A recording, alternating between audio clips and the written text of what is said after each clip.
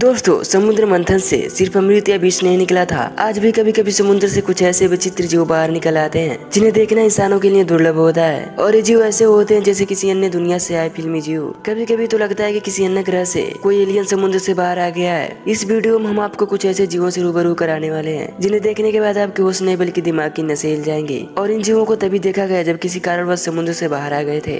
Basking SAARC man में जुलाई दो हज़ार अठारह को एक रहस्यमय जो समुद्र के किनारे बहकर आया हुआ मिला। इसे पहचान पाना मुश्किल था, क्योंकि यह इतना सड़ा हुआ था किसकी आकृति समझ में नहीं आ रही थी। यह करीब पंद्रह फीट लंबा था। कुछ लोग का मानना था कि यह वेल का सड़ा हुआ लाश है, और यह इतना भारी था कि इसे हटाने के लिए लोगों को बुलडोजर लगाने पड़े थे। आपको बता दें कि जब बाद में जाँच हुई तो पता चला कि यह कोई वेल नहीं, बल्कि बास्किंग सार्क है। फैक्ट के एनिमल लेसेंट फ़िश। मई दो हज़ार चौदह में नॉर्थ कैरोलिना के जेनेटिस फायर तट के पास फैक्ट के एनिमल लेसेंट फ़िश दिखाई दी। लोग इसे अपनी नज़रों से बहुत ध्यान से देख रहे थे। तभी इस मछली ने बहुत तेज़ी के साथ पलटी मारी। यह एक बेहद रात्रि चर मछली है, जो सिर्फ़ रात में अपना शिकार करती है। यह समुद्री किनारों से बहुत दूर रहती है। ये अपने से कमज़ोर मछलियों को खाकर अपना पेट भरती हैं। और आपको जानकारी के लिए बता दें कि इसके तीखे और तेज पंख आसपास के पौधों और मछलियों को काट देते हैं। इस जीवित लेसन फ़िश को वापस समुद्र में छोड़ दिया गया। हवा में तैरने वाले समुद्री जीव। ये समुद्री जीव वाकई बेहद विचित्र और अद्भुत हैं। आपको बता दें कि रहते समुद्र में हैं और तैरते हवा के सहारे हैं। साल 2014 में अमेरिका के पश्चिमी तट पर हज़ारों की संख्या में कांच जैसे जीव दिखाई दे रहे थे, जिन्हें हाइड्रोजोन्स कहते हैं। ये लहरों के ऊपर हवा की गति के सहारे तैरते रहते हैं। जब भी ये खुले समुद्र में आते हैं, तब ये हवा के सहारे सैकड़ों किलोमीटर दूर तैरते हुए चले जाते हैं। किसी तूफ़ान और तेज हवा के चलते साल दो हज़ार चौदह में अमेरिका के तटों पर आ गए थे।